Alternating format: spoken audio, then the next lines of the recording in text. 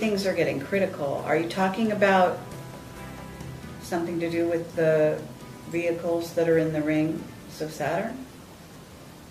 Yes, yeah, Really? yeah. So I was behind closed doors for some time, and my clearance was way, way, way above top secret. So, can you tell us, are you able to tell us your title when you were working in, in this uh, sort of division behind three doors? No, I have probably three or four pages of titles. Oh. Uh, I don't know which one I'm going to land on, and, uh, and um, uh, I can tell things. When I mean things, uh, the conditions uh, are getting critical, and I find that some scientists also think that. And so I think when uh, I do publish uh, that group anyway will agree with me full-heartedly. It, it, people have got to be made to understand that those things are real. Hi, I'm Kerry Cassidy from Project Camelot. We are here with Norm Bergrun. He was with NACA, which was the early precursor of NASA. Yes. And he also worked for Ames Research. He has also worked for Lockheed Martin as well. And uh, no, it's just Lockheed. I left Lockheed before it turned Lockheed Martin. Oh wow. Okay, we're going back in time here. Okay, that's okay. That's all fine. It's Um, got to be actually- accurate. Yeah, Uh, no, you're somebody absolutely right. me on that He was an employee of Lockheed. Yes. Okay, before it was Lockheed Martin, and he has written a book called The Ringmakers of Saturn, which is why we're here. And uh, let's see, it looks like you got another book here too, Well, right? That was a precursor, uh, a very early one. Okay, I'm going to show these to the camera so that we can make sure to get the.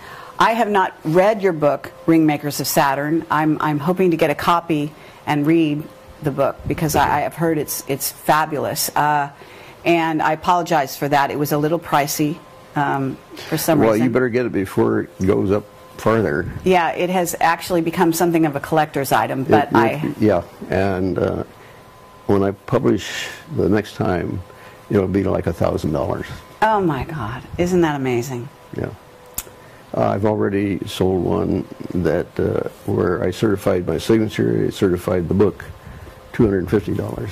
Really? Yeah, All right, well, so. that gives you an idea. We're I in mean, the presence of a, of a semi celebrity or a celebrity in the scientific community, I guess, in a certain sense. I've been around quite a while in been the around. scientific community. Yeah. Yes. Um, Okay, so so to, to kind of start off with, how old are you? Do you mind saying? Well, I always say, "Would you like to guess?" No, I've heard you're around 80, but I don't know. No. Uh, in six weeks, I will be ninety-one. Oh my God. Wow. And my specialist says, I think you can make a hundred. Well, you are amazing because you look great, and I had no idea you were that old. Yep. Uh, I work as hard now as I ever did. Wow. Uh, I don't have enough hours in the day for me, Awesome. and uh, I'm making a change where I'm going to be able to have more time for me. And so it's a very significant thing. I won't be here the next time you come here. Oh, you won't? No, I'll be hidden somewhere else. Oh, hidden in an underground base doing no, it- it's a top very, secret. No, it's just a very nice place, but uh, it's, I will not be easy to get to. Wow. Yeah. Um, I've had my stuff stolen here. Have you? Yeah. Uh, so I'm going in for you don't know where I am. Incredible. Okay, well, that's very, very interesting. And right now we're in Los Altos Hills, and we are actually in your home. And thank you very much for having us here. Well, you're welcome. Uh, my wife and I always enjoyed it, um, and I designed the whole It's a lovely area, and it's a lovely home. Thank you, thank you very much. And, and it's been very exciting trying to get here. I've actually, uh, I wanted to interview you almost uh, a year and a half, two years ago. Yes. And unfortunately, at that time, your wife had passed on. Yeah. And uh, so you took some time, uh, obviously. We're on our way to the Sacramento UFO conference. And uh, so this was right on the way. Yes. And so it was very kind of you to, to let us come into your home. Glad, glad that you're here. Thank you. So what I'd like to do is have you introduce yourself and your background, because obviously I've been getting a number of things wrong, because uh, Well, you got it right uh, now, and um, the point I think you're interested in is how did I ever get interested in this? Well, I've got lots of questions, but, but we could definitely start with that. But first, before you do that, what I want you to do is I want you to talk about your background. I want you to talk about sort of how you made your career progress, I guess you would call it, in the scientific community. Okay, um, well, it was at the time of the war, and I was with Douglas Aircraft, and I was on the drawing board uh, designing turrets for a, uh, fighter airplane, and uh, it had to be heated. Then um, a department manager showed up one day and he asked my boss, Is there anybody here that would like to come up north? I need somebody bad fast. That, that's essentially what it amounted to. And he said, Yeah, check with Norm. And uh, I'd heard so much great things about being up in the northern parts, more rural and down in the south. And so uh, we said yes. And I went to Ames Laboratory. When I walked in the door, I was immediately an assistant project manager. Uh, and um, when that happened, uh, at that point, I was just a plain mechanical engineer. Uh, it, with some administrative things that uh, Cornell was able to give me. Um, but I was told, you never use your feelings here. You use data. And that has stuck with me all my life. Uh, don't use your feelings. And uh, uh, you, you've got to nail something down. And, all right, so the project that I got on then was uh, the beginning of the uh, determination of how you design an airplane with thermal ice prevention. Uh, what the equations are to govern how much heat you have.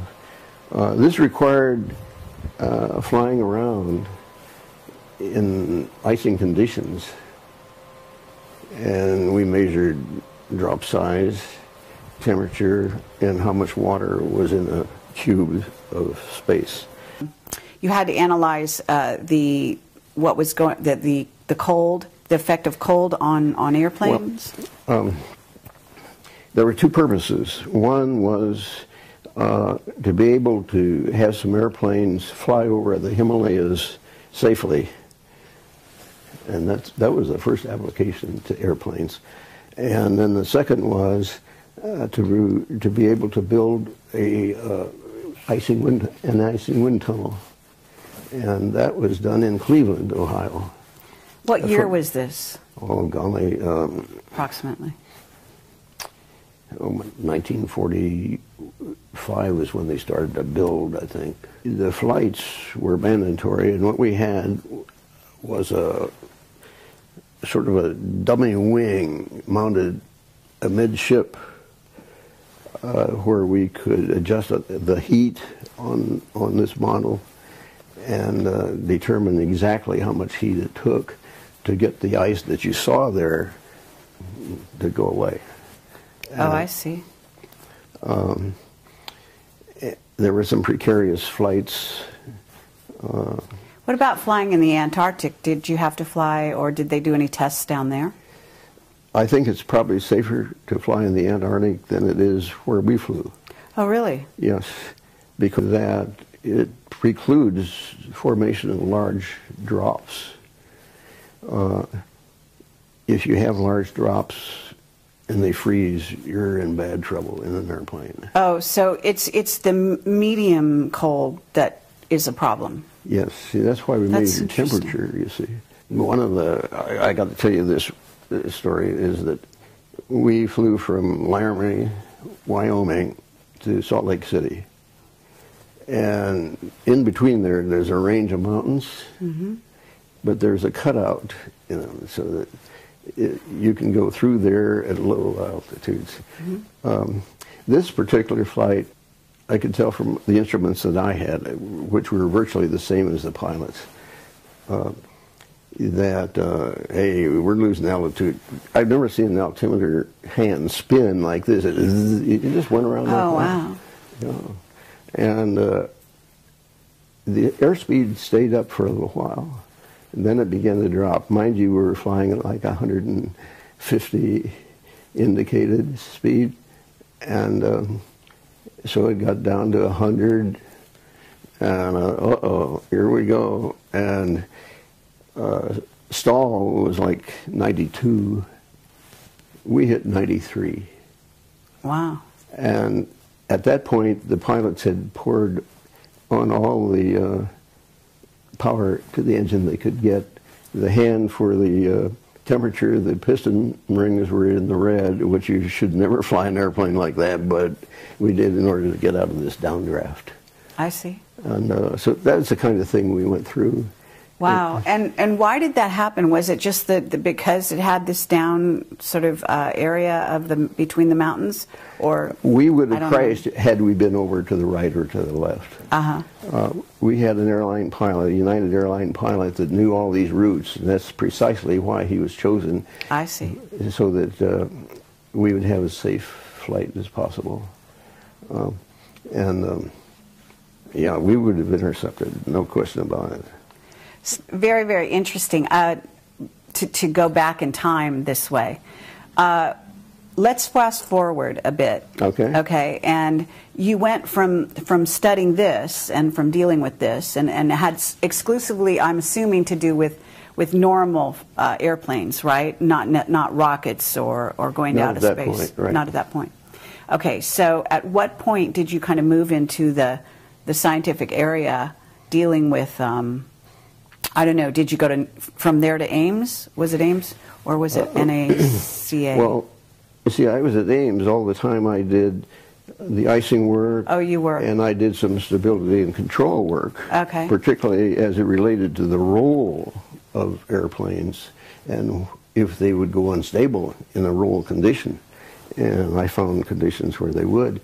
Um, and so we had a situation with the test uh, vehicle called the X-17, I believe it was, uh, where they spun it up to try to keep it stable, but it, they were testing the warhead. Uh, and it was uh, a, a flight where the head would go Mach 15. Uh, and, um, okay, so I was able to back out the uh, reason for it, and it had to be that um, the the missile, wa- the material in it was just off enough. It's sort of like a, a tire that was not properly balanced, and it would whip, and it, it just whipped. You know, so you had to know all of that. Did you also have to know uh, things about weather because eventually the rings Um, yes. of Saturn? I, I think maybe the, there's the answer a link is yes. here. Uh, on our flights, we had uh, a professional meteorologist, Mm-hmm. And uh, the, the pilot, the meteorologist, and I always looked at the weather patterns. And during that time, I got acquainted with a number of other uh, meteorologists, and they told me how they thought weather appeared to just come out of nowhere. And uh, uh, I found that very fascinating. And uh, anyway, the meteorologist and I wrote a, a joint report on, on the meteorology of icing. Oh, And uh, so, so you had that background as well. So okay, that was at Ames, correct? yes, uh, you see, we knew the icing program was going to come to a close, so a bunch of us proposed flights at Mach 15. And lo and behold, one fellow went down to the newly opened missile division in Van Nuys. And he wrote me a letter and said, Norm, you won't believe this. They're doing just what you guys wanted to do. And uh, here's an application, and they just fill it out. Uh, this is where you should be. And I did fill it out. Uh, my pay went up by a factor of 3 and um, uh, at one point where we had this instability of the test uh, for going Mach 15 down there, uh, the the head of the project was so impressed with how simple it was to fix this that I became uh, one of his favorite guys. I see. Okay, so at that point you're working a little more in when you say the missile area, but was that that was still? I mean, we're still talking about here on Earth, right? Yes. So, how did you make that transition to no looking problem. at? No problem. The equations are the same, airplane-wise, as the missile, Okay, and uh, as a rocket, as Right. well, Right. right? Yeah. So did you? Did you? I, I mean, I, I'm really not sure, but did you work at on the shuttles? no, No, no, that was after. that was later. Uh, yeah, was. So, what was the politics that created went from NACA to NASA? Because you must have been around right during the transition, right? the idea of space was coming into the picture. And NACA was the National Advisory Committee for Aeronautics. Uh-huh. So how do you how do you fit it in? Well, we'll just invent another organization and we'll call it NASA, National uh, Aeronautics and Space Administration. I see. So they get both of them in there. But, but in a sense, when you were at NACA, because you wrote the Ring Makers of Saturn, so at some point you were already looking out to the stars, right? So if, if this organization was just called National um, Aeronautics, what was it, um, organization, NACA? The National Advisory Committee for Aeronautics. Advisor, okay. But they were dealing, they had to go into space before it became NASA. Didn't they? Deal with space? Uh, The only one that went into space before it became NASA was the, the, the missile I worked on in Van Nuys. Oh, really? Yeah. Where did the missile go?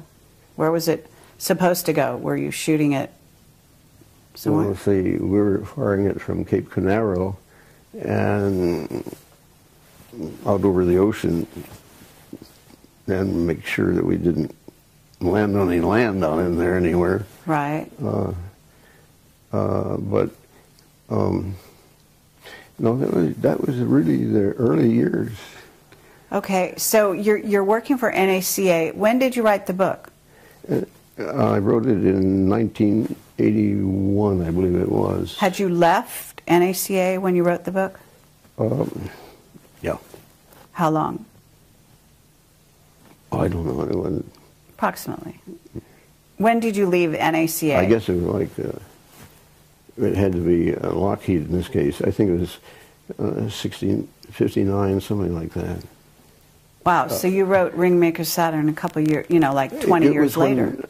The Voyager, Voyager 2, um, had finished its flights, and I had Voyager 1 and Voyager 2 data, and that I inspected and studied for quite a while, and that's when I wrote the first book, and I was so surprised at what I found that it took me like the four years to to get the book published because I wasn't sure that what I had was really right. And so I looked in many articles and books to see, oh yeah, this sort of fits what they're talking about there. Okay, you're okay, so publish it. And uh, so the book came out in 1985. Okay, and that's the Ringmakers. That's the But the other one, this one, That's 1971. I had left Lockheed uh huh. uh, at that point. And um, so I was down at Santa Cruz on a vacation, and uh, one day I spotted a real bright light in the distance. And at first I thought it was a, a helicopter with the sun shining on the windshield. Um, I was laying in the direction of the sun being from my back, and I was looking forward to look at the uh, this bright image. And finally, I decided, hey, that windshield couldn't shimmer like that. And I ran and got my camera and and uh, and shot some pictures. Uh, that was uh, really a convincing time for me. Um, so was that a UFO? What we call a UFO? You know, when it comes to calling things UFO, I I part ways with people. Okay. What what would you call it? Uh, it's an IFO because I named it. Okay. Okay. Well, did we build it? Pardon? Do you, did we build it? Did did who built it? The craft. I don't know who built it, but uh, it. What I found out is these things inhabit Saturn. That's that's where I first discovered them, and they're proliferating.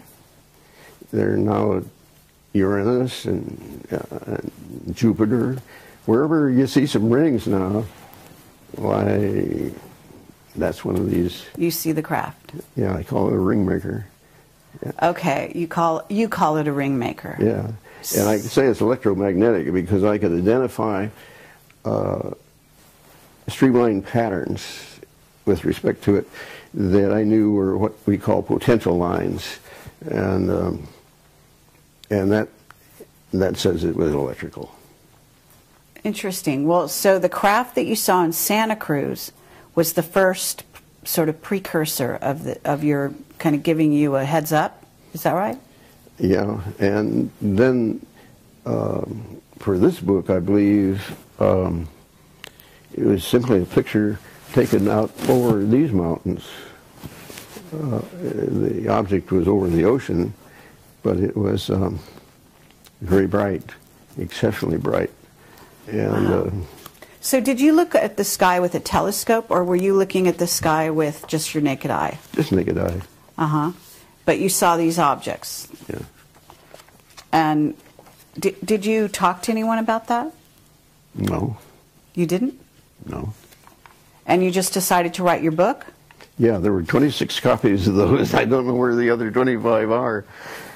You're kidding. Yeah. You wrote 26 copies of this book? Yeah. There, that was how many were printed. And there's, wow, this is really a collector's item then. Yeah. That's incredible. You find one, why, I'd like wow. to get it myself. Okay, that's that's fascinating. This is a interesting. Yeah, that's where I got the idea that there were streamers from these objects, and um, or I couldn't have drawn that. Okay. I see. What do you mean by streamers? Well, you see those. Yes. I mean, it's actually art. looks like art. Yeah, yeah, but yeah. I call those streamers. Mm-hmm. Um, what it, I mean, do you know what that is? I can tell you what in our physical terms they would call it. They would call that pinched plasma. Oh. And it means it's hot because it's plasma. I see. And because of certain speed and all this kind of stuff, it comes out pinched. You know, it's a certain condition. Uh, when I saw it, uh, it was though on the top of the cylindrical object, uh, the color of those streamers was what I call a nauseating chartreuse. Really? Yes. It, it was really the most nauseous chartreuse I have ever, ever seen. Um, the closest color that would match it is chlorine. So you see these plasma sort of off coming off the object, and this is with your naked eye. Yeah. Okay. Um, so I well, mean, you must have a very unique way of looking at craft, uh, obviously. I can't say that was completely the case. I did get my binoculars by this time. Oh, and, okay. And that was helpful. Um, did, okay, and you filmed it as well. Did you see? Well, just stop. You know, uh, uh, just still, a, a, still. you have some stills. Are there stills in this book? Uh, Well, of course, the uh, Ringmakers of Saturn is all government shots, mm-hmm. and they are stills, and these are stills. So. But, but any of your own? Uh, only Tomorrow Technology, they are mine. Oh, are they? Okay, interesting. Um, Uh, so, and so at this point, you're talking about having been in Santa Cruz and seeing a craft, inspiring to write the first book, I guess. Yeah. And that was about what you said, 1979 or when? 71. 71. Yeah. And then what happened after you wrote the first book? What was the reception to that? People take it, I'd never get it back. I'd loan it to them, I'd never get it back. Um, they just disappeared fast. I see. Uh, what kind of people would take it? I mean, were they other scientists? Yeah, by and large, yeah. By and large. because, yeah. Would they were they um, employees of NASA at that time? By Uh, then, NASA was formed, right? Well, it's just people that I knew, my colleagues here and there. Uh huh. Um, okay, so so you went from from Ames NACA, and then Lockheed. then to to Lockheed, right? Yes. But at that point, when you went to Lockheed, was it was it turning into NASA at that point? When I left, uh, the answer is yes. When I left um, NACA, you know, it was only months when uh, Before it NASA, became NASA. Yes. Okay. Yeah. Uh, and why did you leave NACA? Um, well, I think it was because um, the fellow that sent me the app uh, thought I should be down there. He said, "Hey, this is the kind of thing you've been doing there, and hey, you should be here." Uh, and he was so right. Oh, so the organization that sent you the application from Southern California was Lockheed? The fellow that sent me the application formerly worked at Lockheed. I see. Yeah. So was it Lockheed Skunk Works that you ended No, up? uh, No? I, I haven't been in there. I don't. You haven't? No. You, do- you never met uh, Ben Rich? No, I, I have never met him.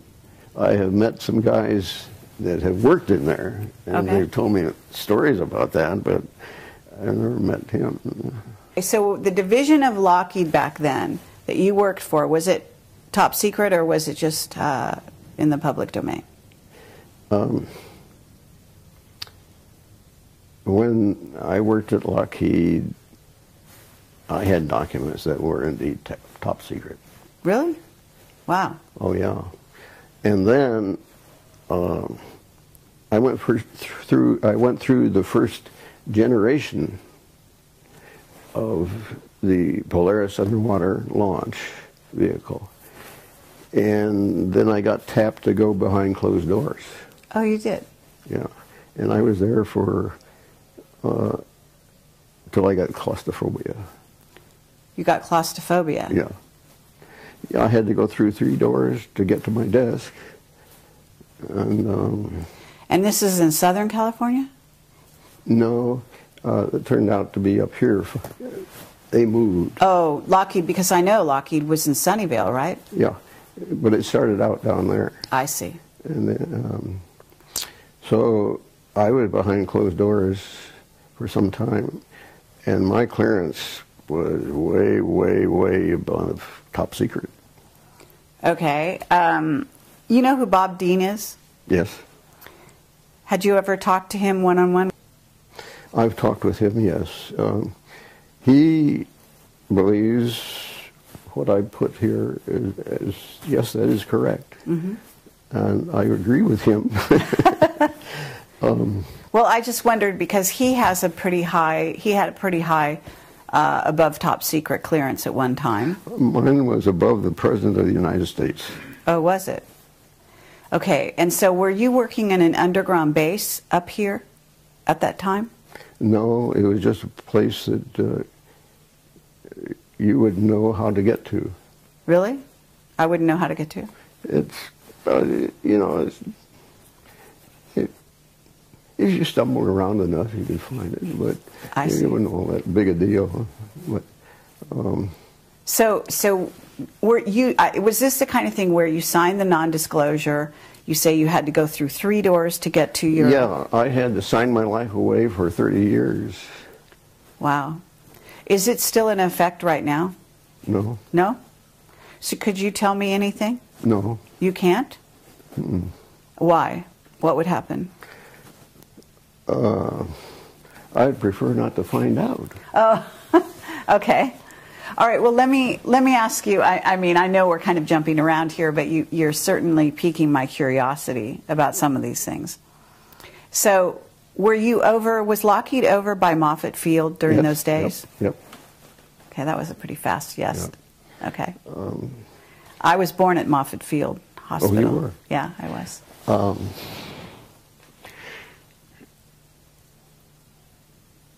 There was, uh, were you there at the time when the Macon went down? The what? The Macon? The Macon? The, the, the, the Zeppelin, the, the dirigible. Oh, I don't know. I, I mean, I was very young. Yeah, okay, all right. So there was a, a dirigible that, that went down in that one- Moffett Field. You know, it's in that housing that is being stripped off of the top of it now. The hangar. The hangar hangar. Has a lot of history. Yeah. Um, so did you ever see any UFOs out there? Now, let's go back on this, and get that straight. I'm sorry, okay. yeah, because. Whatever the- you call uh, them. You see, when you say unidentified flying object, You're right. You're absolutely right. you, you can't go anywhere with that. okay. The only reason I see that people like UFOs is uh, for that very reason, so I can keep in business all the time Uh-huh. because it's unresolvable. Okay. Now that's So you've my- identified it. But when you resolve something, uh, it, you know, Okay. But if you were in above top secret, let's say you might have seen some craft in those hangars. Is that right? uh, it was my first clue that there was something in space that was different. Okay. I was handed one day a set of data. The guy that gave it to me said, nobody else around here has ever been able to get anything out of these data, and if anybody can, you can. And so I went through it, and I found this one spot of data that really looked interesting. And I slugged through plotting it up. It was quite a difficult test to to uh, to draw the, the picture of that. And when I got it, um, you could tell it was something strange. Oh, wow. Uh, so, well, so let me ask you this. Uh, can you tell me that you actually saw these things um, on the ground at all? Were they in location? I didn't at that time. Um, I I have seen one on the ground in Antarctica, You have? uh, not personally, Uh-huh. but an image of one, uh, which I wish I'd have cut out. Right.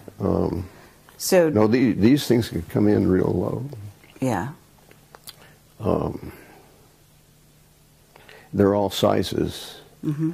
It's it's the same deal as airplanes. You know, they're Cubs and, and all that kind of. You know. Right, and so the, when you're talking about the craft in the rings of Saturn, you're talking about something huge, right? Yes. Much bigger than, than we could even conceive of. I understand. Um, what is it? I, I don't know. What was it? Seventy thousand Yeah. square feet. Um, I could, in looking down on the rings, I could see parallel lines crossing the ring, all the rings at once. Mm-hmm. That's about as long as you can get them. That's incredible. But I, I could tell that those lines demarked the outside of an object. Mm-hmm. And that's how I came up with the scale I present in there of different lengths of these things. Okay, so at this time, though, you've written the first book, and you're you're working above top secret. You say you got claustrophobia, and at that point, you hadn't written Ringmakers of Saturn. That's right. Have, had you start to stumble on some of the information that eventually I, went into the I, I didn't start anything with uh, a book until after Voyager 1 and Voyager 2 flew. Okay.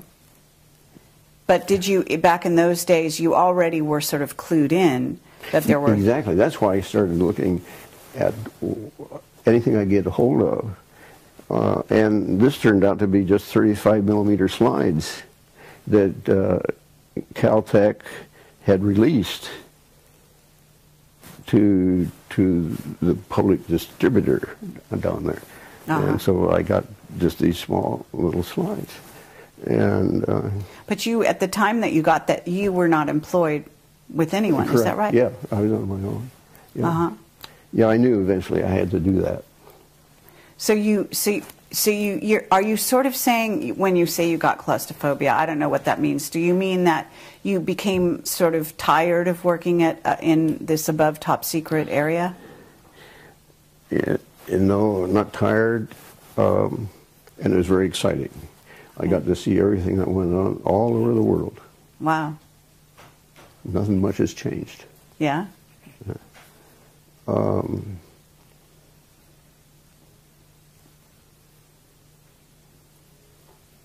I, I don't know. How Or were you threatened? Were you, you know, what did, what did you, what, what, did you have friends who were leaving the employee of, uh, of Lockheed at that time? I mean, was there some incident that happened that made you want to leave? No, uh, it wasn't that. Uh, let's just say that you're confined to one room day after day, year after year, same walls, so Oh. forth. That's claustrophobia. I see. But I knew that, hey, there's something going on out there, and and see if you can't can't find it. And Ah.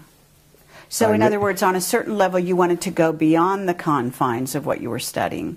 Yes, sure. Um, and I made myself a policy. Um, it's got to be all government images. No shots by me or any other person. Okay.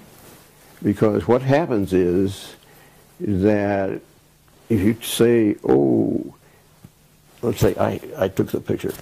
What film did you use? What shutter did you use? Da da da da da. That is never questioned when they have a when you have a government picture. Okay, but have you heard that NASA alters their their footage coming from the moon, etc.? I I know some of the things they do with it. Yeah.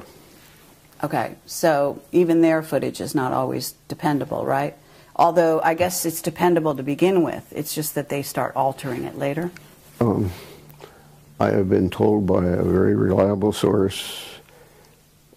He asked me what uh, what camera did I get that image from on the moon.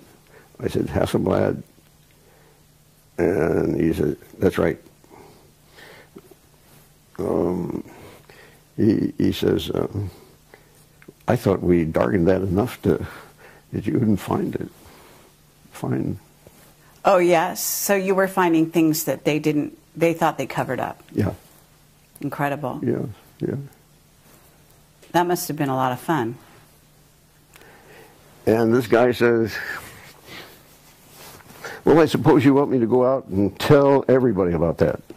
I said, No, I don't want to embarrass you. That doesn't make any difference to me. Whatever you want to do is fine with me. I'm just saying I found what you saw.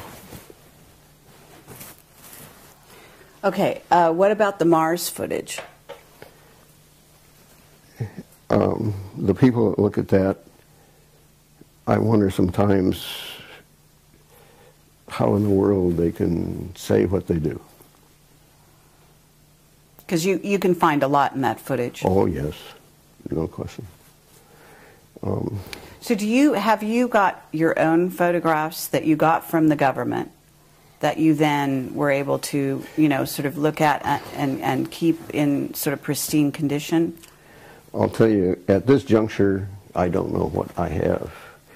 I finally went to put it in a vault that the people claimed eh, you nobody can get in here, including the government.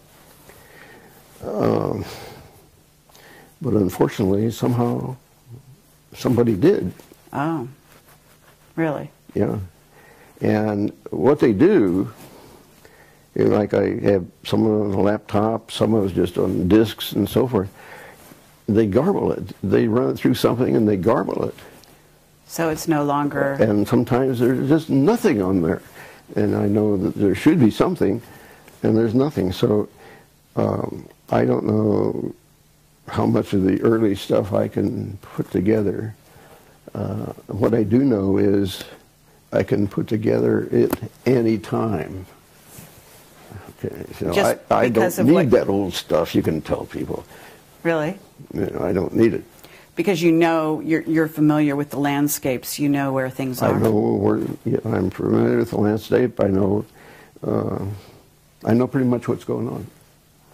Okay, so, well, that's very tantalizing. Uh, so at this point, you you learned quite a bit. You were uh, very respected, I imagine, when you left, um, even above top secret, right? You left employee of, of Lockheed in good terms or not good terms? Um, yeah, I was respected. Um, there was a time when, on the Polaris vehicle, that when it, when the missile was fired off, it didn't light up. It came back down and hit the submarine, and uh, and I said it was the umbilical plug, and. Um, the head of the project said, asked me, what do you think it is, Norm? And I said, it's the umbilical. That's the most reliable thing there is on the burn, Norm. It can't be that. And um, a Navy guy came in later, and I said, it's the umbilical plug. But Frank is not going to believe it unless we pull that thing up and we got the whole Navy out there. I don't see why you can't pull it up. And if we don't pull it up, the Soviets are going to do it. He said, Norm, focus your, synchronize your watch with mine. Three minutes, you're going to have a call from Frank. Um, three minutes, I had a call from Frank. He says, Norm, you're going to be real excited. They're going to pull up the bird. And uh, it was the umbilical. And after that, um, as Norm said, it was a certain thing. Don't argue with him. That's great. you know, it was that kind of thing. Yeah, Uh, absolutely. So, can you tell us, are you able to tell us your title when you were working in, in this uh, sort of division behind three doors? no, I have probably three or four pages of titles. Oh. Uh, and I don't know which one I'm going to land on. And uh, um, I think it's, what's going to happen is that I'm just going to have to find the images that I that I can get that uh, either aren't affected by anything, or I get some new ones of some sort that will sort of govern how how this whole thing goes together. Uh, I am very aware of uh, uh, Sagan's principle. When you make big claims, you have to have big data, you know, Uh-huh. and that's the that's the big thing about it. Uh, that uh, amassing enough data that oh, it's got to be true. There's so much of it, you know, and it takes a long time to to put together that kind of story. Right, but you've been working on this whole idea for a long time. It's up here, all right. Yes. Um, but I haven't been able to get anything much down on paper. Uh, I spent two years with my wife before she died, and two years getting straightened things straightened out afterwards. So there's four years in there I've lost, I see. and um, uh, I can tell things. When I mean things, uh, the conditions uh, are getting critical. And I find that some scientists also think that. And so I think when uh, I do publish, uh, that group anyway will agree with me full-heartedly. On your conclusions. When you say things are getting critical, are you talking about something to do with the vehicles that are in the rings of Saturn? Yes, yeah. Really? Yeah. You see, it, um, it's sort of simple. Um, on, on,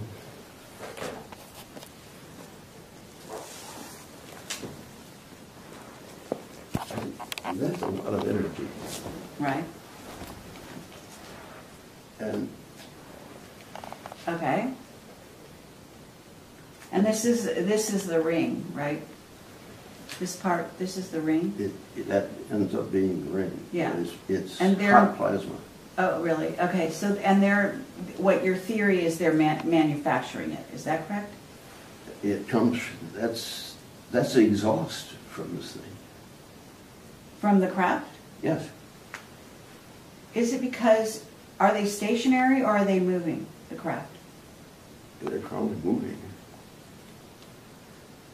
Um, So do you think, when you say things are getting critical, are you Okay, saying? now, uh, just take that picture and say that's the exhaust. It's like you have an airplane with an exhaust. Mhm. It's in your atmosphere. And it can load a lot of energy, you know? And, uh, um, but this is, Saturn, like John Lear says, you know, Saturn is, is the focal point, and I can't agree with him more.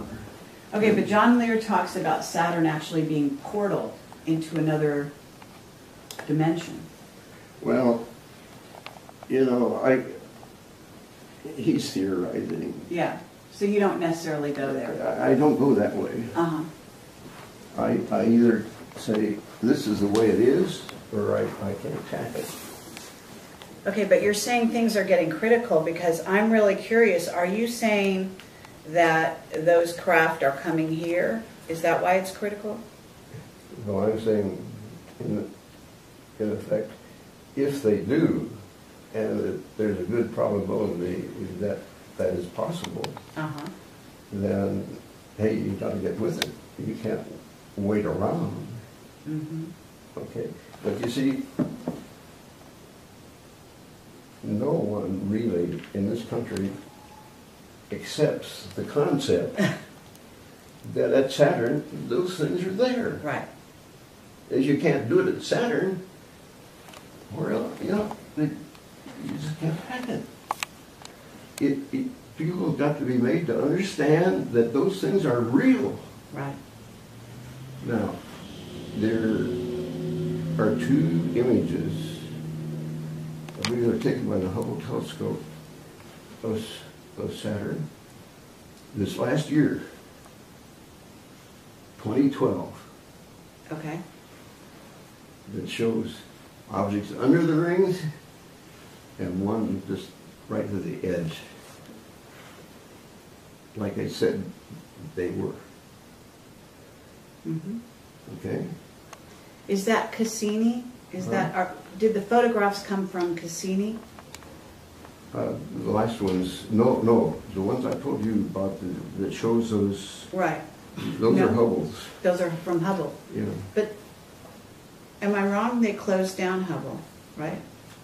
Uh, Well, yeah, Or that's the official story, uh, right? wherever they closed it down is 2012 before they show you the picture.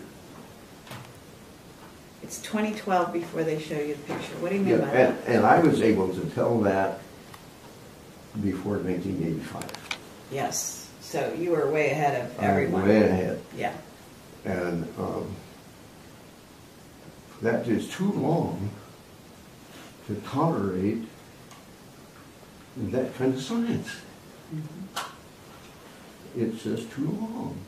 Now, I have three reports, uh, I guess, uh, on the environment, let's say, in UNESCO, uh, but they're yay thick, all three of them weigh 18 pounds, or about six pounds each.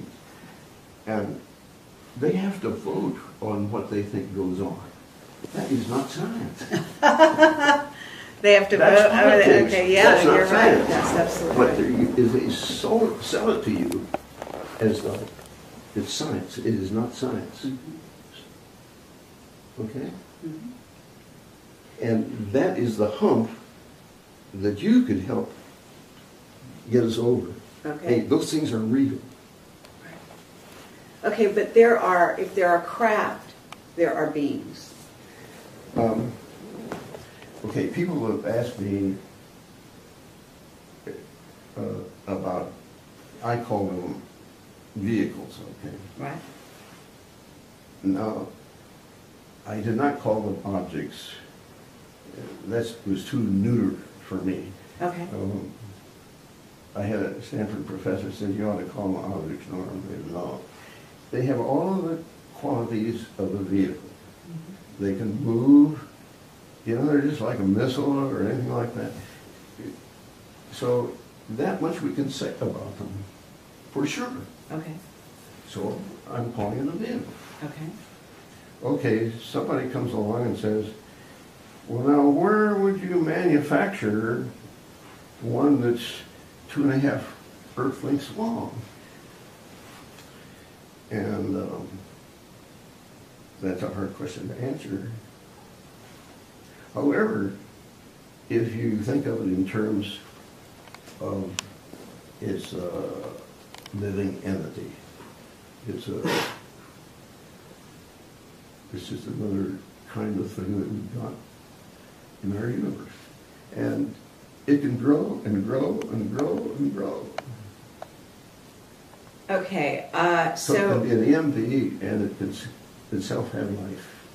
uh-huh. So are you not positing the idea that they, those vehicles contain, you know, beings who are, you know, maybe like us? Yeah, I only go along with government images. And if you want to know about people kind of thing, um, there is the ship that picked up the Voyager uh, capsule um, at uh, Alameda uh, Naval Shipyard. And they, they have a picture there of, um, I think, I think it's, uh, the Apollo flight that uh, Buzz and, uh, and Neil were on. Uh, but anyway, there is one image there that shows black people getting off. So people with dark skin getting off, Not dark, black, black skin, really black. Yeah, were they tall? yes. Very tall? yeah. How tall? Do you know? Well, they got out the, uh, the doorway, I don't know how high that is, but Well, what? it's safe, safe, seven, seven feet would be probably a conservative estimate. Um, Have you heard about Clark McClelland's uh, statement about that? No, Oh, you haven't? no, Have you ever been in touch with him? no. No? Uh, I have tried to stay independent and not be affected by others' opinions. Mhm. Uh, I would rather have what I present clash with somebody else and see who wins. And- Okay. And, and settle it that way, Hmm, rather than, than make a, a shouting match over it. Sure. Uh, I learned at Ames that the louder you shouted, the more probable it was that you would get your way. And I, I don't want to go through that routine. Okay, well, good for you. So you're saying it's a, what did you say, $5 million billion? Four- Four bi- billion. billion.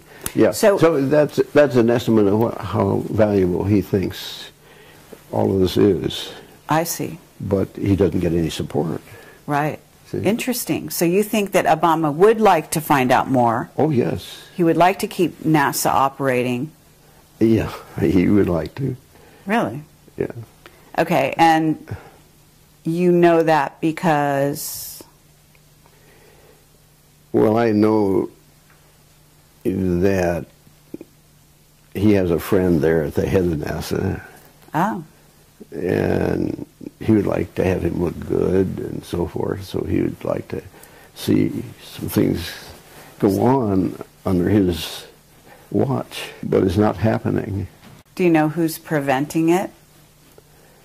I think it's the overall economic picture that's preventing it.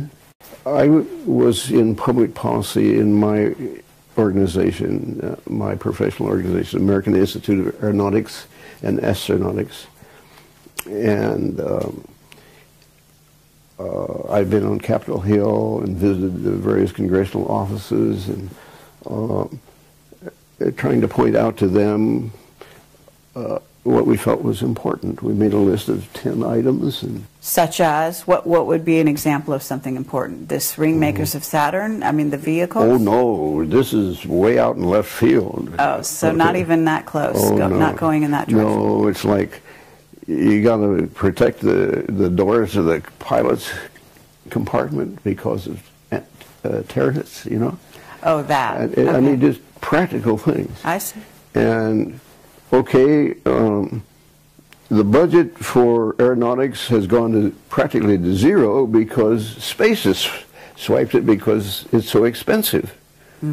And you just try to juggle money around, really. and it, it's it's a it's a strange place back there in Washington.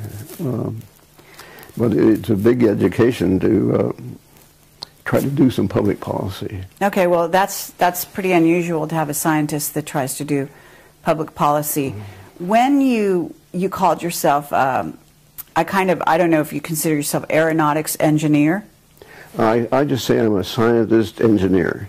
Okay, Uh, you, it's hard to be a scientist without being an engineer. okay, And when you say training for just an engineer, I don't think that's going to work. Uh, and that shows to me how little understanding there is about that educational aspect. Did you ever go to Stanford? Mm -hmm. You did. Did you graduate from there? Uh, I got I got a quarter in, and then my dad passed away, and he was supporting me, and that was the end of that. But it was long enough to be an alumnus of Stanford. And uh, Okay. uh, the other interesting thing is that um, Ezra Cornell uh, and Leland Stanford got together on the founding of Stanford. So for many years, there's been a close relationship between the two. Oh, between Cornell and Stanford. Yeah, and Uh-huh. so rather than making Cornell my home university, Stanford definitely is my home. Okay. But to get back to the subject at hand, with regard to the rings and regard to what you've seen, and when you wrote your book, what was the response to the book when you were when you published it in the in the scientific community, at Stanford, at you know these places? Uh, I would say practically zero. No reaction. If it is, I never found out about it. Uh-huh. Um,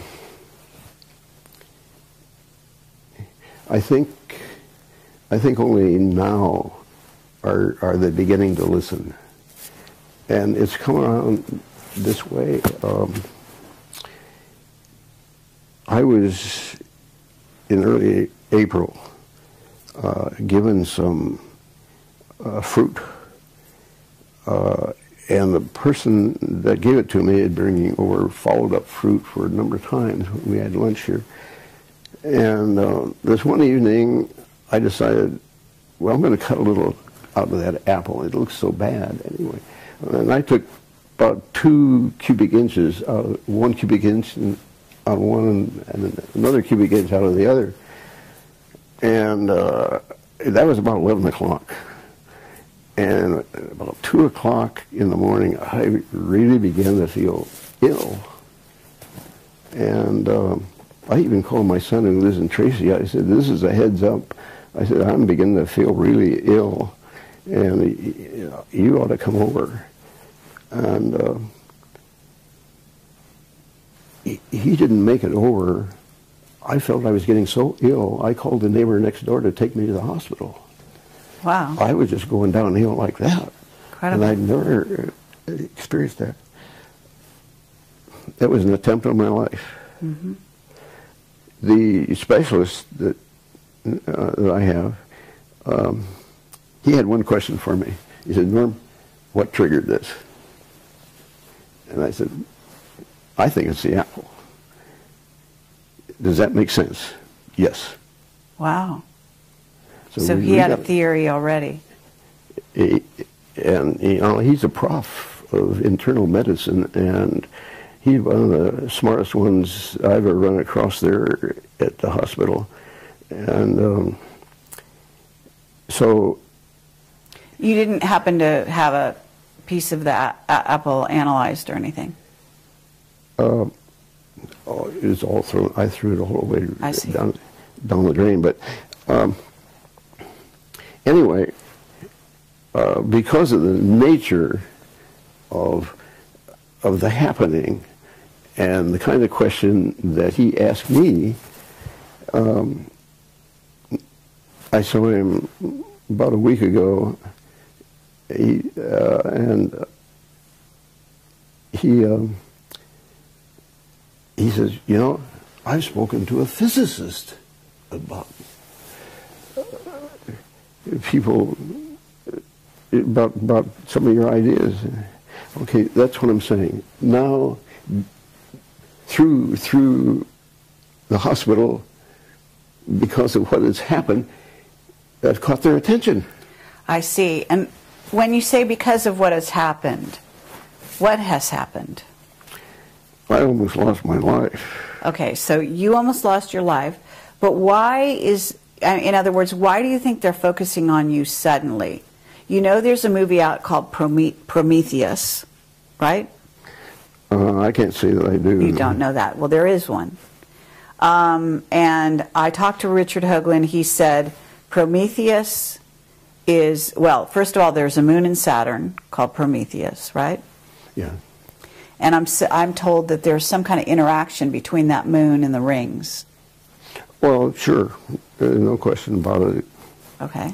Yeah, I would agree with him. And there's some, and you say there's something going on now. It's, it's, it's becoming critical, is, is how you're terming it.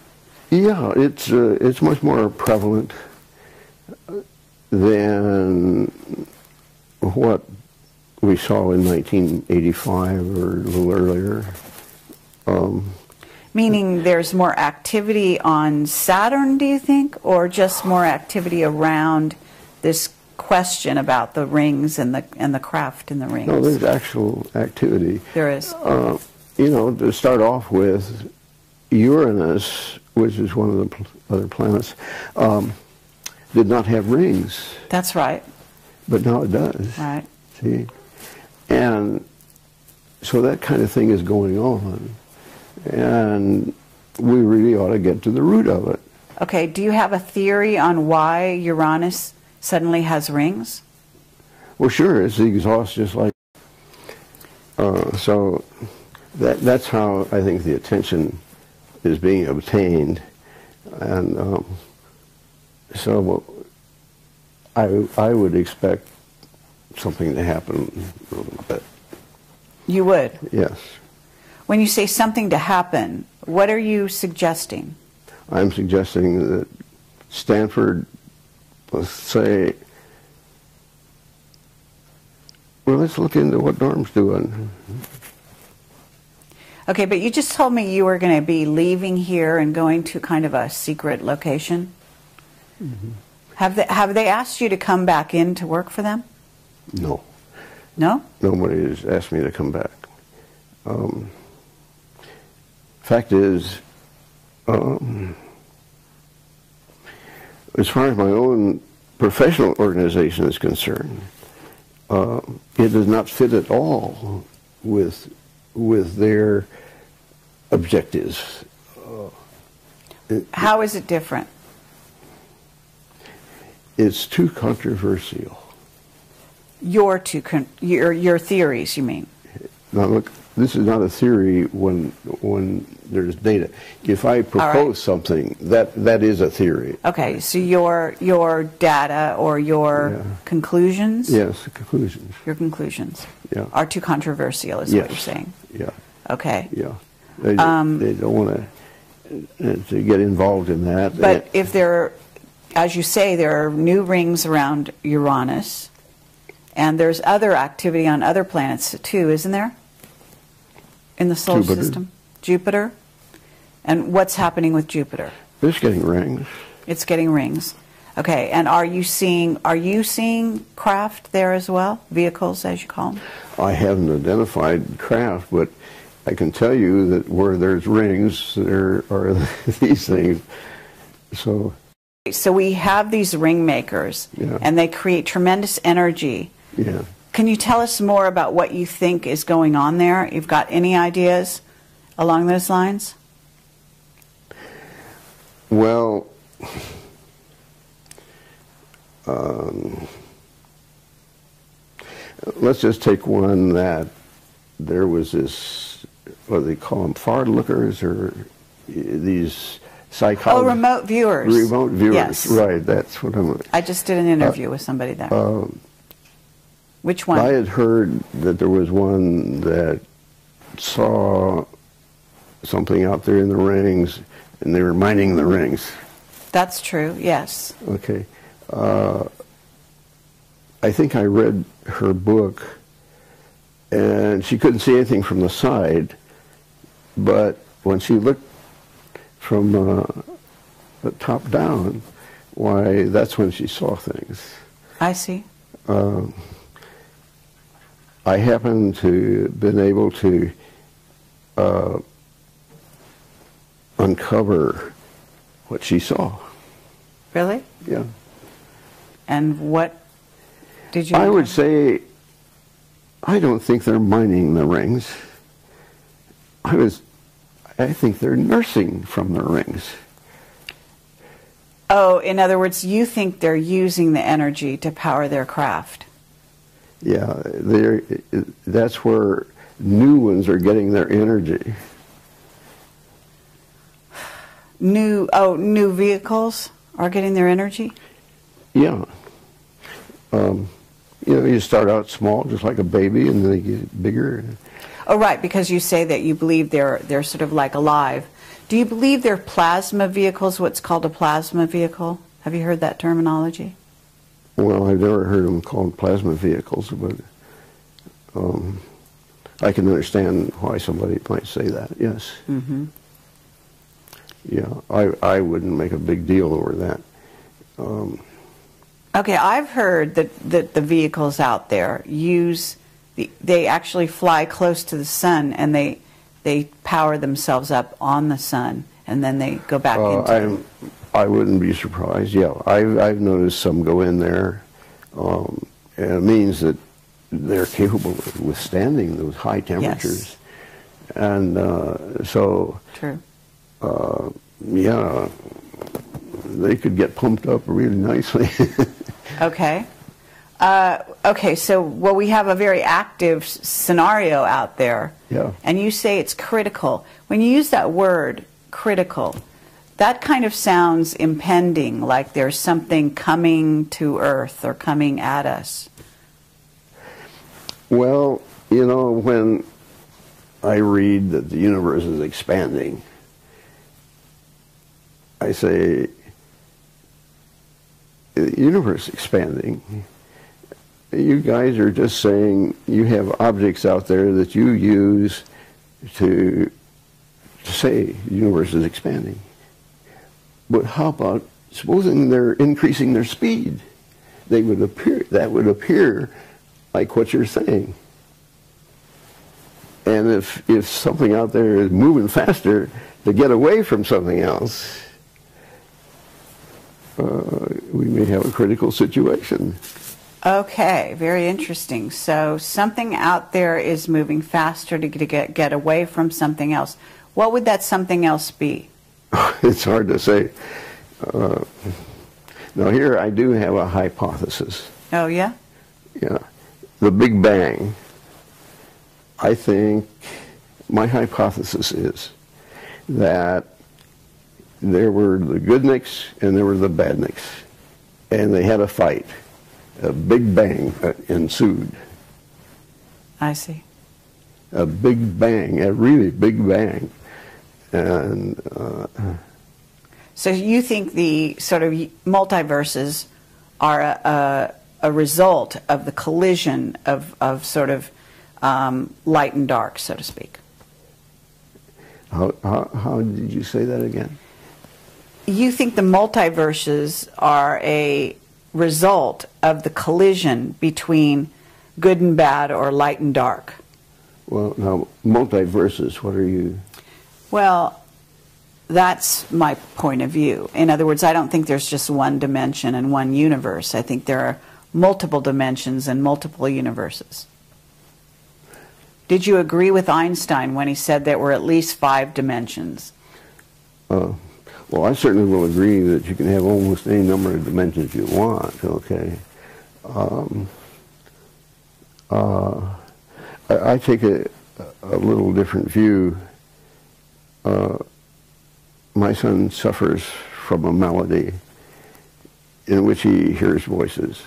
Oh, yes? And I'll tell you, um, I think that's a universe right there, Okay. right under our nose. Uh huh.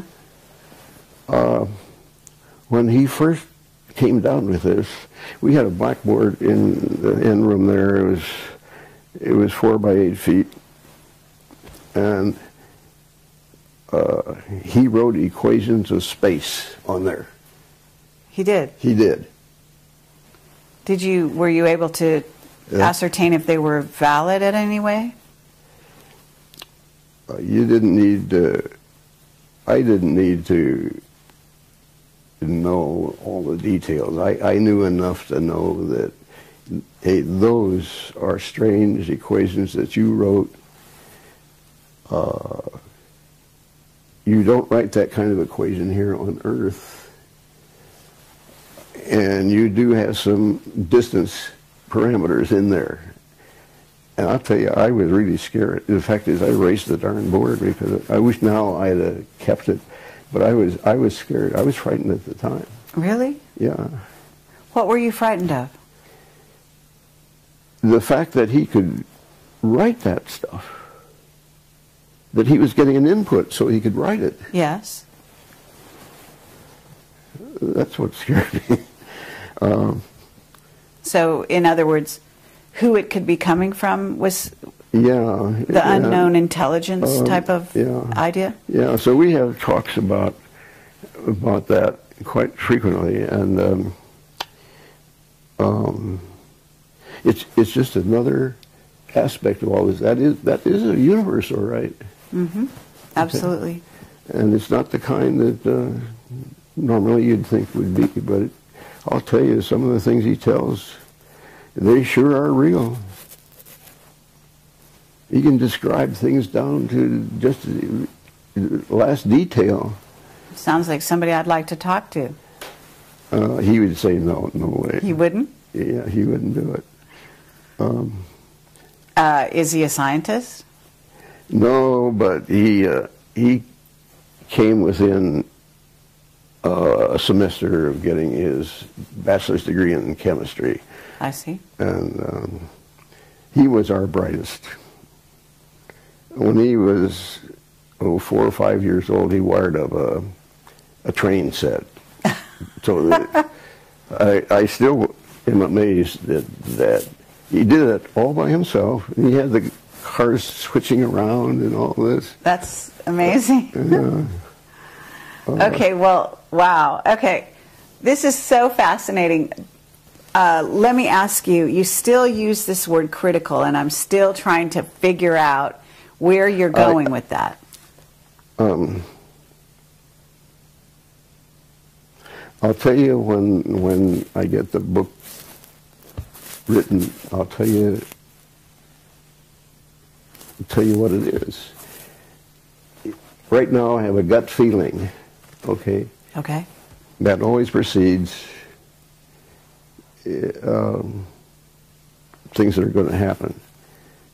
I've done many analyses with, hey, I got a gut feeling that that's it. See if it is it, and I'll be right. And you'll be right. Mhm. Yeah. So, So um, you're someone whose gut feelings are something to pay attention yeah, to. Yeah, it's a gut feeling right now. Wow, that's incredible.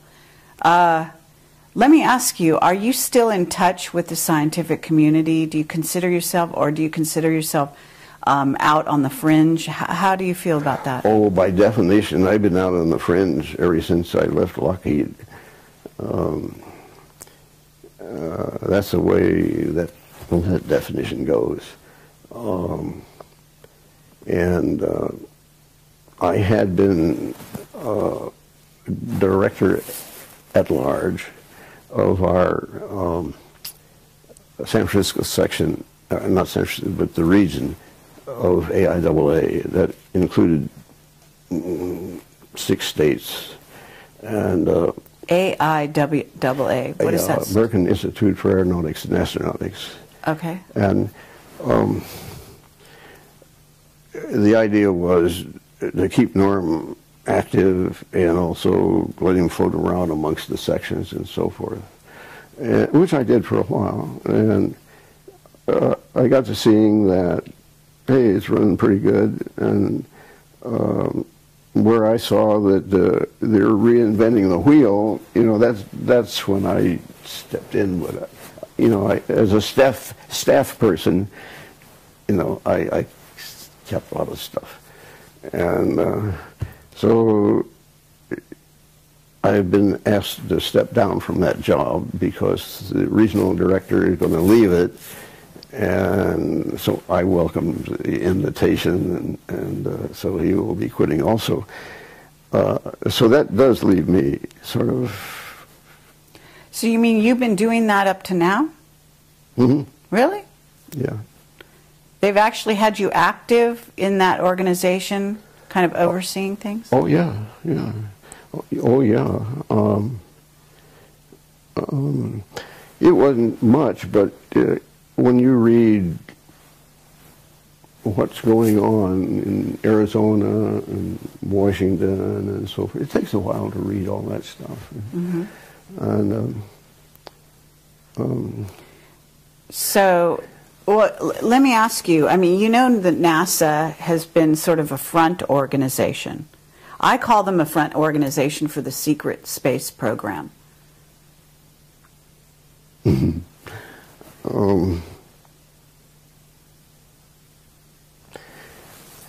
I don't know about being front.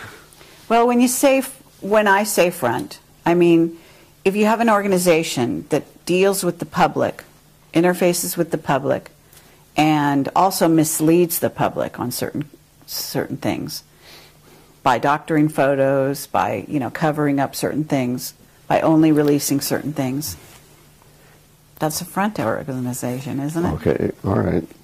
I guess you're entitled to do that. Okay. Um, Um, so if, if we were to look at the situation a little closer and, and find out who are the insider organizations, certainly Lockheed would qualify. Do, would you say that the defense industry are all in the know? no, No? no. Mm-mm. Uh, Lockheed only recently has been getting images themselves. hmm And um, having worked there, um, I don't think there'd be anybody that would be capable of doing the kind of work I have been doing. I, I, I just don't, that that kind of talent does not exist these days. Uh, Well, when you were an above top secret, you must have had people reporting to you, right? no, I was Mr. It.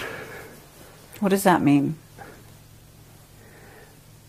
Were you Dr. Strangelove? I mean, what were you? Um, by it, okay, here here's some data. Uh huh. Tell me what it means. So you were the go to guy.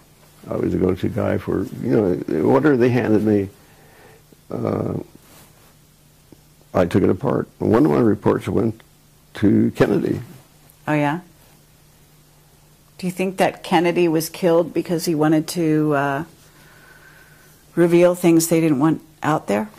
Uh, I don't know. We had a fellow that was from headquarters, and that occurred while we were all behind closed doors, and uh, they were completely dumbfounded about it all.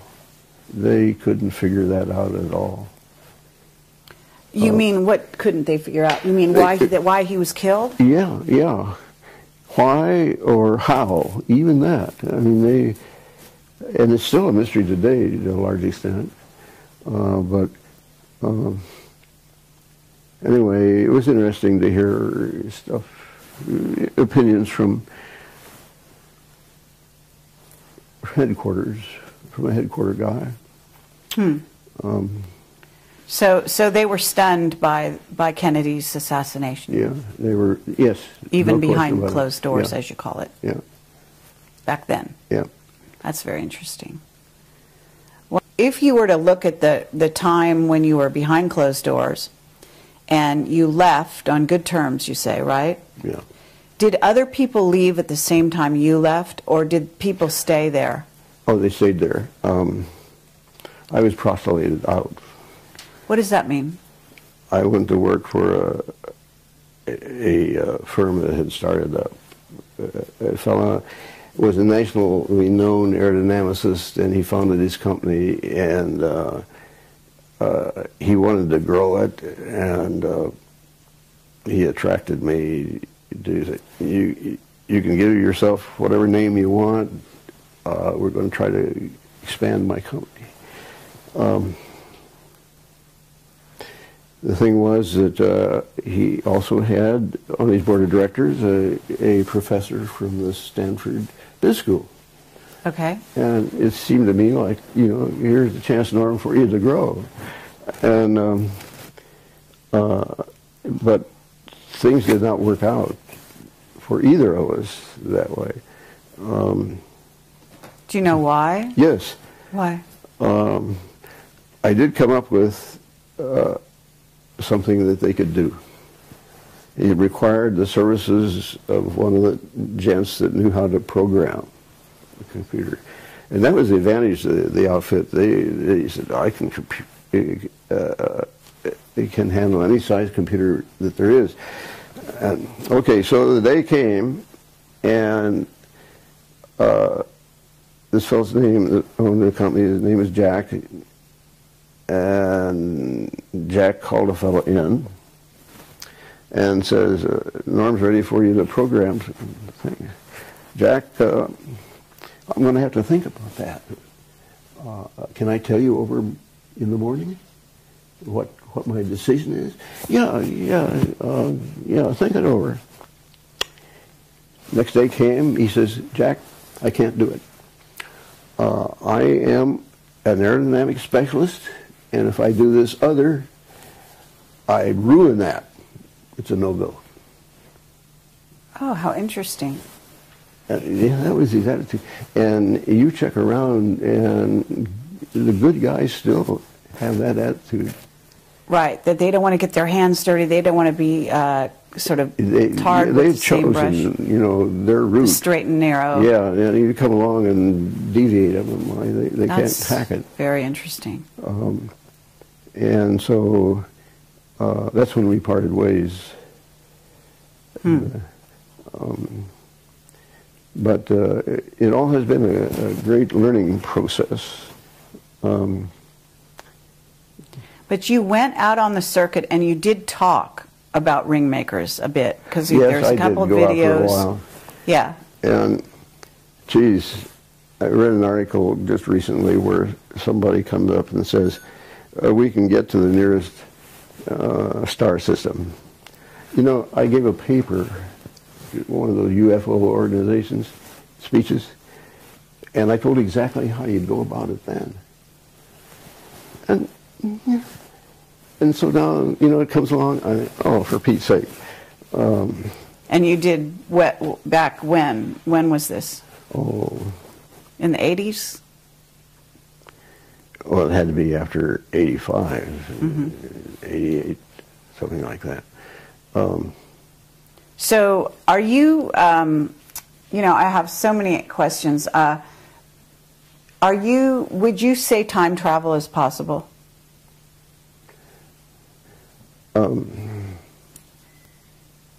There's a way to do some of these things that has not been considered. Uh,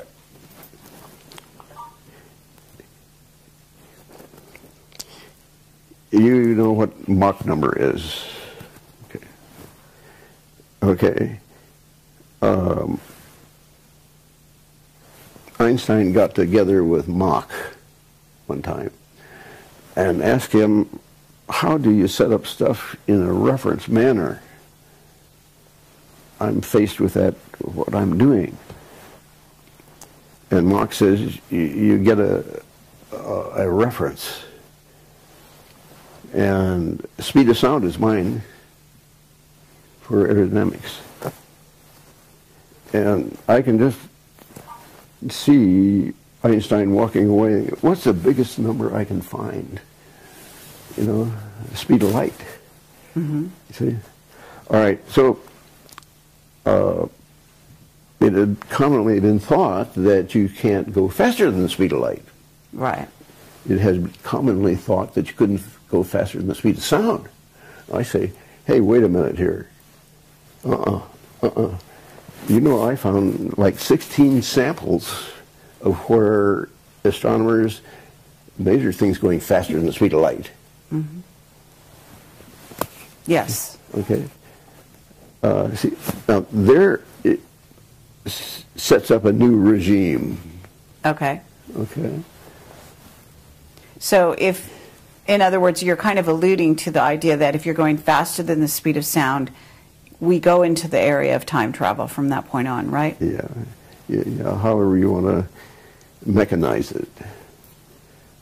Okay. What about these vehicles in the rings? Aren't they going faster than the speed of, speed of light? Oh, I don't know. Um, I've never seen one, you know, in that condition. Okay. Not at all. Well, let's say, uh, is it possible? I mean, I don't know how you want to classify this, but if those craft, or some of the craft, the smaller ones maybe, leave there and come here, isn't that possible? Yeah, it's possible. Okay. And is it possible that they've been coming here on a regular basis? I don't know about about that. Um, I'd be in better shape to to know about what you're asking. See, now you're asking questions that are downstream from, I understand. and um, I'm not there yet. Okay. What about? Um, I'm still, you know, I mean, okay. Let me let me ask you this. I remember that John Lear told me that you told him that you saw here in I don't know was on the 101 going around somewhere around Palo Alto or maybe Los Altos, and you saw a what was what looked like a very low fly, flying jet that was a hologram and you determined it was a hologram in some because it actually I guess disappeared all of a sudden. Well, that uh, uh, story is almost almost correct. Um, I was just with this fellow Jack at the time, uh, and I don't know whether you know where Gun High School is over here or not, but we were in that vicinity, and all of a sudden there was this huge-sized airplane that flew over there. Uh, It looked exactly like an airplane. Um, I said, Jack, did you see that? Yeah. Um, but, you know, it was below the allowable level, yes. and there were no complaints. So it had to be a picture, you know? Really? But did it disappear suddenly? Well, it, it was only there just a fraction of a se- you know, you know, you just gotta, if you weren't looking, you'd miss it. really? Yeah, But it has to be going very very quickly then. yeah, it was. So you determined that it was a hologram? I didn't determine it. It's just the fact that uh, there weren't any critics around here that says, "Hey, there was an airplane flying below allowable levels, and we gotta we gotta do something about that." Because there's a lot of people like that around. And, Right. But there were were none. So okay, so it had to be. So that's that's okay. What what year was that? Oh, I don't know. Uh, when I was with Jack, Approximately. Would, would this be the 80s because you left? Mm.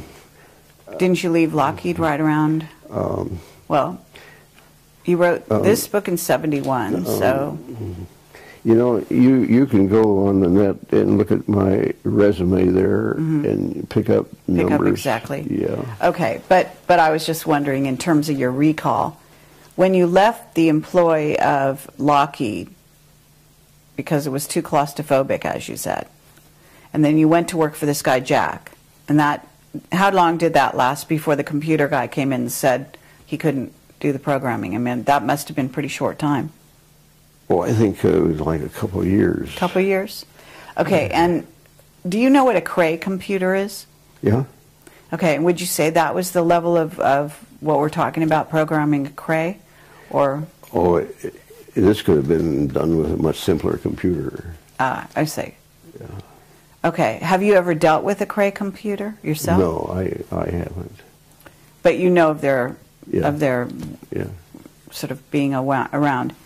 Uh, okay, in terms of this, again, this critical time that we're in, can you describe this time? Like, what do you, do you see something happening in these times? I mean, obviously, we have critical things in terms of you know the world politics and economics and things of this nature.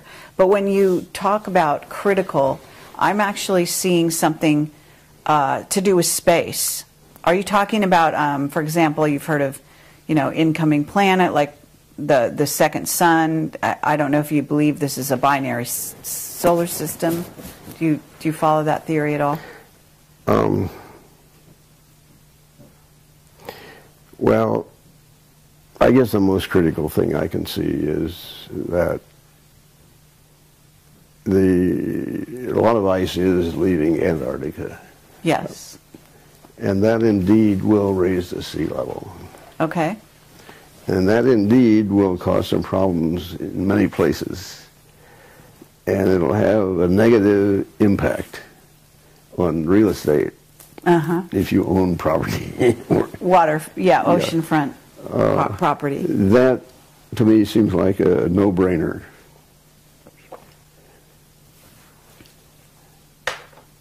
Have you talked to some remote viewers?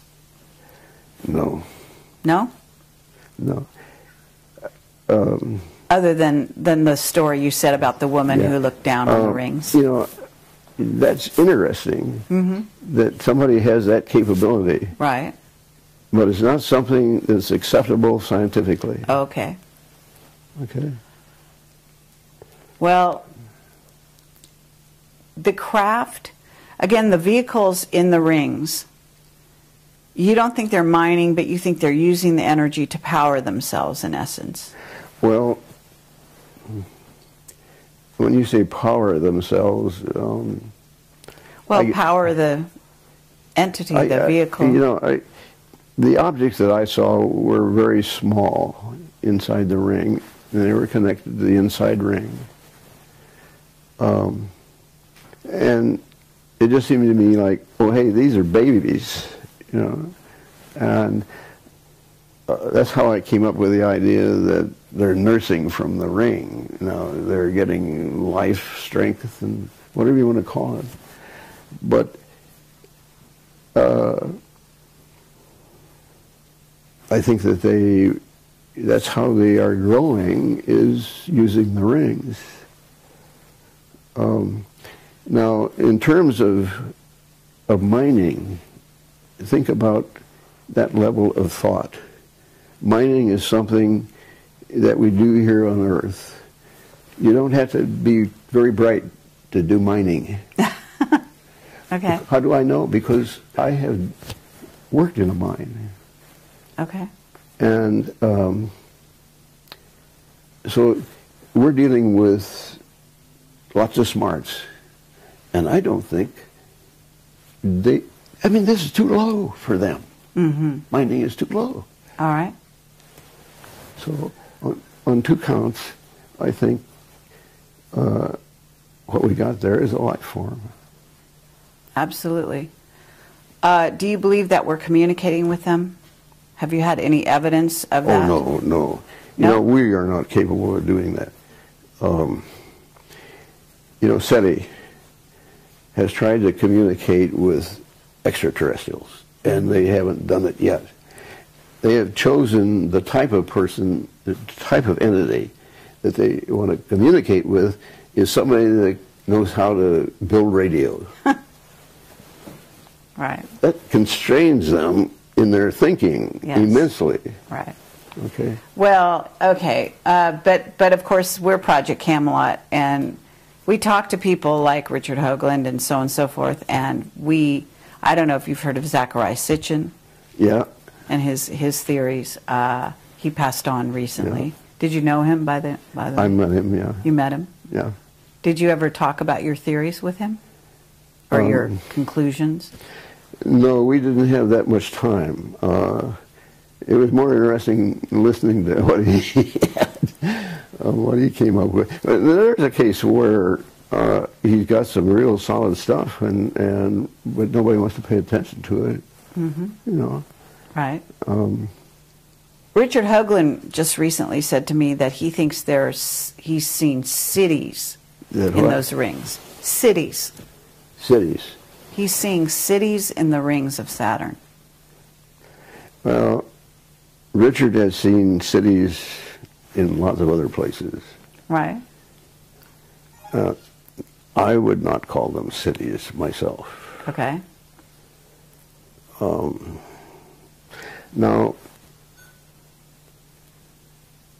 I don't know specifically what he is talking about. I mean, you know, if you want me to be specific, I'd have to look. Right. But um, he's thinking again of, of something like San Francisco, or you know, you look down on it and there's a city, you know, laid out. Well, I'm not sure how he's character. You know, we didn't Yeah. have a chance to talk about how he's characterizing this idea of a city. In other words, it could be constructive, some some some uh, sort of plasma, yeah, he, or he put that label on, and uh, what I do think he's seeing is is organized structure of some sort. organized structures. Yes. I mean, there's lines going this way, and then there's perpendiculars, say, and uh, so, in a sense, you would agree with him in that. yeah, I mean, There's that kind of thing organized can hap- structures There, there can be the straight rings. lines out there. Yeah. Yeah. So, uh, and any almost any formation can be made that uh, is desired. So, if he sees a checkerboard kind of thing, and that's a city. It's not a city, but that is a checkerboard kind of thing. Um, When you talk about plasma, do, what are you talking about? Are you talking about uh, the same thing that Wilhelm Reich would be talking about when he talks about orgone? Or is plasma like another stage of orgone? Or about him, but there is one uh, flight out to Saturn where uh, the instrument flew by the ring.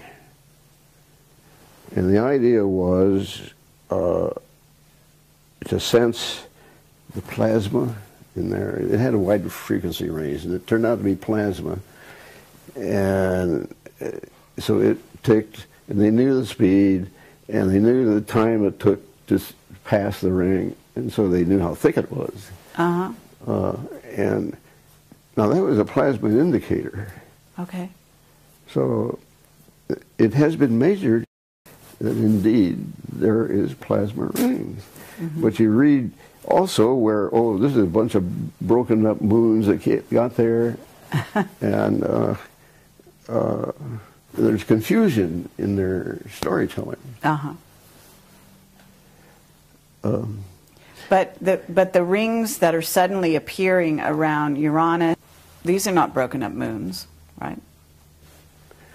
Um, you know, all I can say is, you know, the rings are there, and my interpretation is by inference. I see the rings, uh, so somewhere there's an EMV, and they're never where you think they're going to be. Do you uh, have you thought about the idea that um, I guess I talked to Sean David Morton, who met you years ago. I don't know if you remember Sean. Mm-mm. Sean David Morton. He's a sort of a psychic, and he lives in Southern California.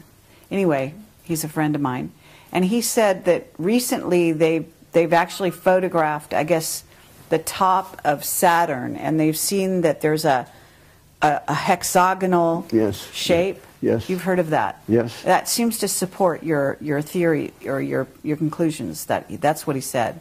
Do you agree with that? Um, yeah, the any any geometric form can be made. Okay.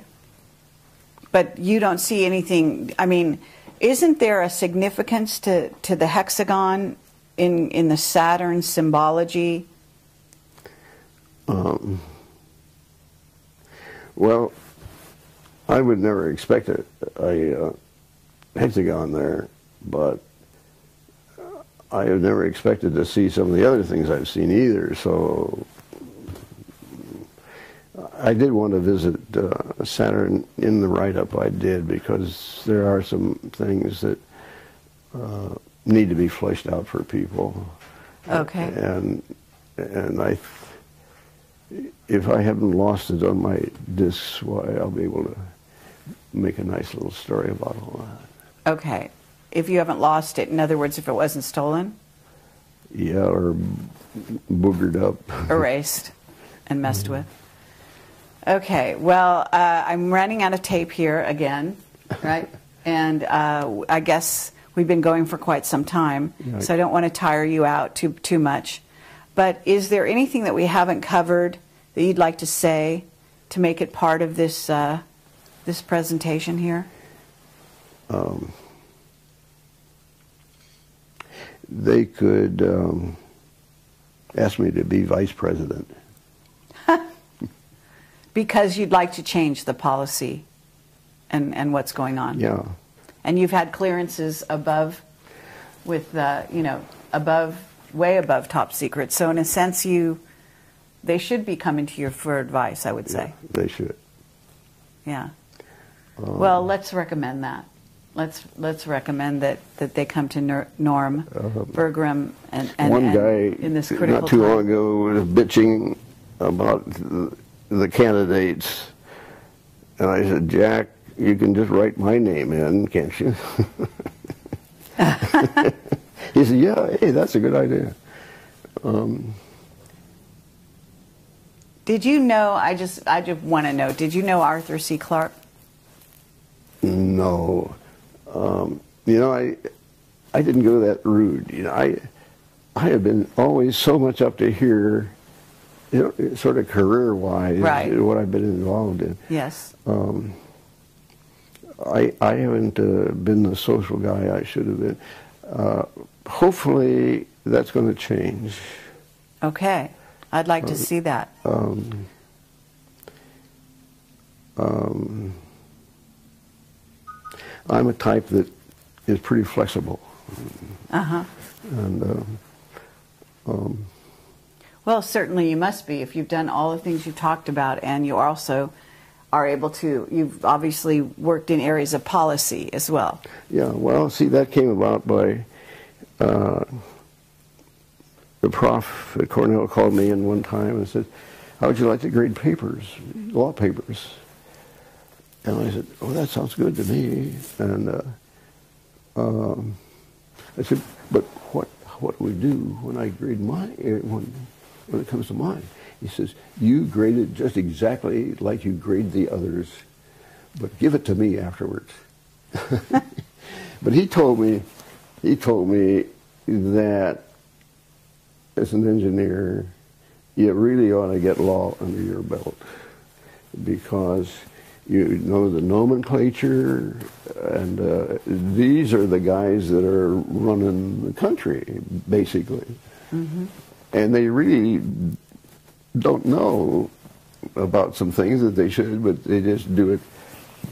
And um, so over a period of 10 years, I got a law, I got a law degree. Oh, you did? Wow, that's incredible. And uh, uh, On top of everything that- else you were doing, you got a law degree. I, I found it uh, just exactly like the prof said, yeah. And that that's what made it so, so easy to go in. To go in Otherwise, do I wouldn't have done policy. it. I see. Okay, Nor- Norm Bergrun, I, I believe that there's more that you could be telling us, but I understand that you still have some secrecy or oaths. Is that that correct? You're kind of abiding by those? Um, I could tell you a lot of war stories. The answer, you know, I, I could tell you a lot of stuff that's sort of related to all this. But uh, give me some more time, and I'm set myself up so I sh- don't have to make my own bed. I don't have to cook some meals, you Uh-huh. know, and all this. And TV will be taken care of for me. Just a lot of things will go to zero. I see. And so Norma's going to have some more time to do some things to get it together. Okay, but are the people that are making this possible going to let you go out and talk about it? Yes, yes, they are. And I already uh, tweaked them.